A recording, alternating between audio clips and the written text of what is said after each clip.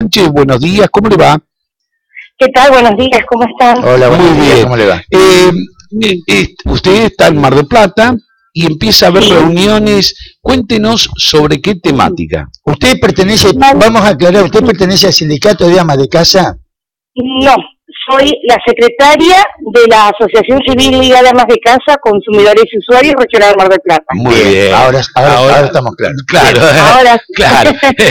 Eh, cuéntenos eh, qué va a haber por estas horas, cuándo y qué temática Sí. se va a tratar. el día de mañana, viernes 10 de marzo, el Ministerio convocó a audiencia pública para tratar el precio del gas en boca de pozo, que es el origen, ¿no?, donde comienza ya el, eh, el transporte y la distribución del gas, y esto se lo denomina PIT, por eso es la sigla que cuando nos inscribimos las, las diferentes entidades, nos somos convocados para la audiencia para tratar el precio del PIT, que es el transporte y distribución del gas natural. Claro. Esta convocatoria es mañana, eh, nosotros estamos inscritas para hablar y bueno, hablo en representación de lo que es el segmento de la Liga de Amas de Casa, Consumidores y Usuarios de Mar del Plata, Balcarce, Mar Chiquita y Necochea. Claro. Eh, lo que voy a exponer es bueno, eh, el precio en dólar, para que la gente entienda, porque uno lo prepara para la exposición y lo prepara muy técnico, porque es lo que debe plantear en ese momento, ¿no? Pero para que la gente entienda es, cuando a partir del primero de abril empiecen a sacar las nuevas facturaciones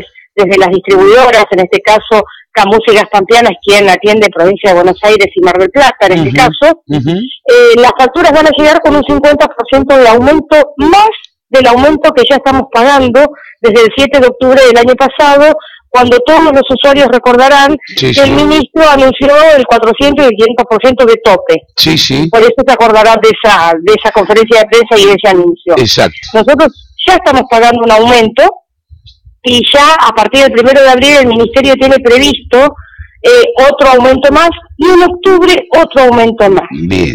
Esto es lo que marca eh, las resoluciones 29, 22 y demás que vamos a tratar mañana. Lo que acá hay que aclararle a la gente es que eh, no pueden ir las paritarias, los salarios, o pedir un 18, un 20% en paritarias y que las tarifas de servicios esenciales como el gas o la luz eh, vaya, suban un 400, un 500 o un 300%. Ujú. No lo podemos permitir.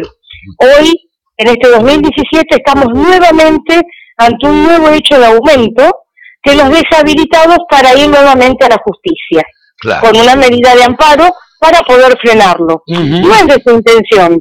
Nosotros somos conscientes, y siempre lo decimos en todas las notas que nos convocan, nosotros somos conscientes de que las tarifas estaban atrasadas, de que veníamos pagando precios irrisorios, también somos conscientes de que solventábamos y financiábamos a lo que estaba la ciudad autónoma de Buenos Aires, porque ellos pagaban 23, 24 pesos y nosotros por ahí eh, pagábamos un poco más, financiando cuando tenemos diferente clima que ellos.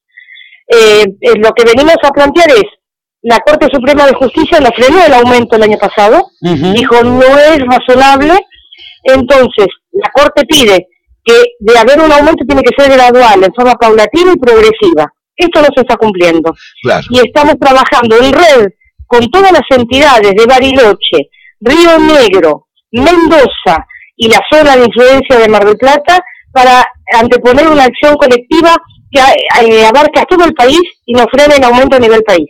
Claro. O sea, estamos trabajando bastante fuerte y mañana es nuestro único lugar y momento para realmente decirles a todos los que van a estar presentes que este aumento es irrazonable y es confiscatorio. Claro. Eh, eh, esto es la famosa audiencia pública, ¿verdad? Las famosas audiencias públicas que sabemos muy bien porque en una audiencia de luz un funcionario nos trató como de tontos a todos los que estábamos sentados ahí.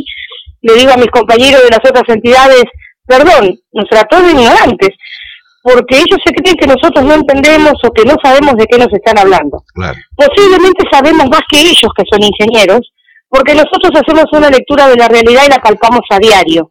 Que cuando viene la gente a nuestra entidad, a nuestras sedes de la Liga de Amas de Casa, y viene con una factura de dos mil pesos hoy, quiere decir que en la próxima factura va a pagar alrededor de cinco mil pesos. Claro. Y esa persona es un laburante, un jubilado que no entró en tarifa social y que no lo va a poder pagar Claro. y que le van a cortar el servicio. Entonces, nosotros mañana vamos, sabemos que la audiencia pública la hacen para cumplir con un requisito legal, que se tienen que sentar ahí a escucharnos a todos los expositores, pero bueno, nosotros vamos con un único discurso que es que no nos aumenten en la forma en que dicen que nos van a aumentar el precio del gas y también vamos a pedir nuevamente, que ustedes estarán al tanto, por la famosa recategorización que tiene que ver con cambiar los umbrales de consumo. Es decir, nos dijeron el año pasado, eh, sí, les vamos a dar la tarifa de Bahía Blanca.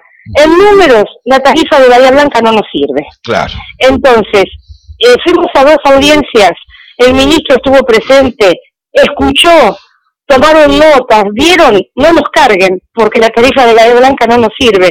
Nosotros pedimos desde el 2014 la tarifa de La Pampa, de la zona patagónica de nuestro país. Claro. Entonces ahí sí el número no cierra y hasta es posible pagarla con aumento. Mientras tanto no. Claro. Así que mañana vamos a, a pelear un poquito este tema en el buen sentido de la palabra, ¿no? Eh, usted decía recién, no nos cierra la tarifa de Bahía Blanca, sí la de La Pampa. ¿Qué diferencia hay? Porque es lo que se considera zona fría. Hay, hay un término que anda dando vuelta que nunca nos, Sí. nos, nos queda claro a los consumidores, en el fondo, ¿no? a, a los usuarios, claro. Claro. Mira, acá hay un tema.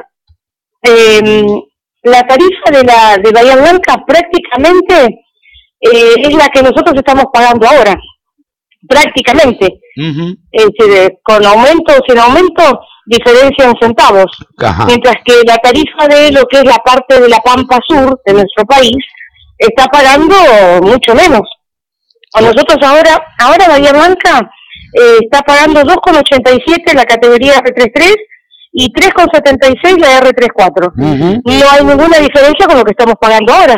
Claro, claro. Y en La Pampa es, sería el ahorro. claro, y en La Pampa es significativamente menor. Sí, mira, yo tengo los cuadros, lo que pasa que hay que mirarlos con lupa. sí. El cuadro de, sí, el cuadro de la Pampa hoy, en lo que tiene que ver con la tarifa R33, está pagando, ya te digo exactamente para que la gente sepa por qué nosotros reclamamos la Pampa Sur, Claro. está pagando 1,37. Upa, la, la mitad, me- menos de la mitad. Claro, Claro. por eso no nos quieren dar la tarifa esa. Y hay otro tema que la gente lo debe saber. El gobierno qué dice, Eh, vamos a sacar la quita de subsidios, vamos a hacer la quita de subsidios, pero con excepción de los patagónicos, que hasta el 2021 van a mantener parte de los subsidios. ¿Qué? ¿Por qué? Los patagónicos sí y nosotros no. ¿Por qué no pueden extender esa medida para nosotros también hasta el 2021? Teniendo en cuenta, eh, teniendo en cuenta que al estar viviendo ah, pegados al mar, este, bueno, la influencia de los vientos del sur eh, hacen que seamos un lugar frío, ¿no? Exactamente, tenemos influencia de vientos marítimos que vienen de la corriente fría de Malvinas, como las aguas, Claro. como las aguas de nuestro mar. Es decir, son todos eh, temas, digamos, muy técnicos que por ahí la gente lo que quiere saber es cuánto va a pagar cuando llegue la factura a fin de mes. Es decir, también estamos viendo que en la factura, y mañana se los voy a hacer saber que los usuarios estamos al tanto de eso, nosotros en la factura pagamos varios cargos que la gente no sabe que ahí está el aumento en gas en boca de pozo. Claro. Entonces, queremos también que la empresa distribuidora, que en este caso es el, el Camusi, eh, trate de rever esa cuestión. Claro. Que hay varios temas que mañana plantearemos y directamente eh, también diciéndole al señor ministro que si él no quiere, no puede, no lo dejan, bueno, que dé un paso al costado. Se lo hemos pedido varias veces por nota, lo hemos hecho saber eh, directamente cuando con el emisor ya el diálogo está casi agotado. Y bueno, habrá que cambiar el emisor para que podamos seguir dialogando. Claro, la última pregunta, Marisa. Eh, eh, hablando con el intendente local, eh, en este caso Facundo López, nos había dicho Sí. que todo lo habían centralizado en ustedes porque ya venían con eh, con trabajo con ustedes desde, hace- desde el 2014 con el tema del gas, Sí. ¿no? Entonces, sí. en la representación, en el caso de mañana de ustedes, también incorpora a Necochea en este pedido, ¿no? Sí, totalmente. Eh, mañana me toca exponer por Necochea, Balcarce, Mar Chiquita y lo que es la, la zona de influencia de Mar del Plata, que bueno, la Liga de Amas de Casas regional es a nivel nacional, así que bueno, expondré también por, por todos nuestros socios y afiliados a la asociación que vienen todos los días con reclamos, ¿no? Exacto. Es decir, la Liga de Amas de Casa lleva 35 años en Mar del Plata trabajando y es una entidad reconocida y que sabe que ellos saben que cuando una representante de la liga se para frente a un micrófono para defender los derechos de los usuarios y consumidores, lo hace con total firmeza y con total conocimiento de lo que estamos defendiendo, ¿no?